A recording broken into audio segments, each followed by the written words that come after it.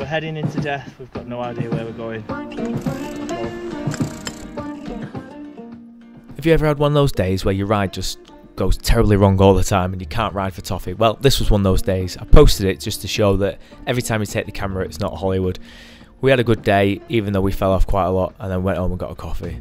Anyway, enjoy. Let me know in the comments if you have a day like this.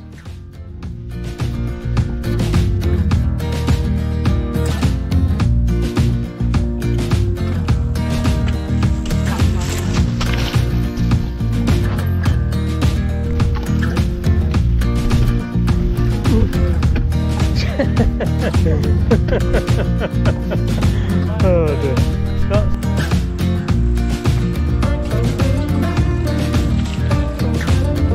This video should be how not to mountain bike with Phil. Don't know why I'm shitting it.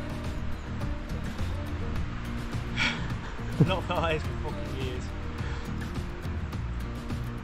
Just put just one pedal, lean back and pull, that's it innit? Ah!